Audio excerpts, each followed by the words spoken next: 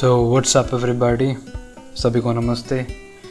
And today we're gonna, today we're gonna talk about GERD, G I R D, GERD. Okay देखो गर्ड का simple मतलब है कि बांधना, ठीक है?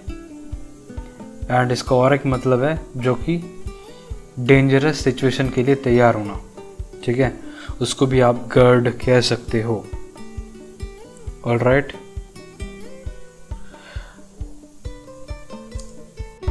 तो वीडियो ख़त्म करने से पहले मैं आपको कुछ गैजेट्स बताऊँगा, जो आपको हेल्प करेंगे आपके डे टू डे लाइफ में, आपको प्रोडक्टिव रखने के लिए। ठीक है?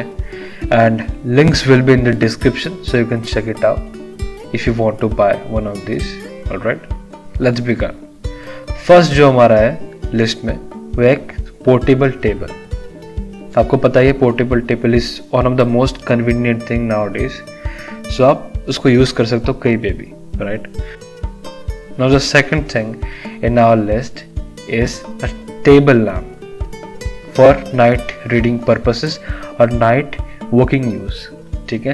तो आप उसको कहीं पे भी यूज़ कर सकते हो नाइट में, जब आपको एक मिनिमल या फिर subtle amount of light required हो। थैंक यू यही तक था हमारा सफ़र इस वीडियो के लिए। नेक्स्ट वीडियो में मिलेंगे। तो तब तक बने रहिए।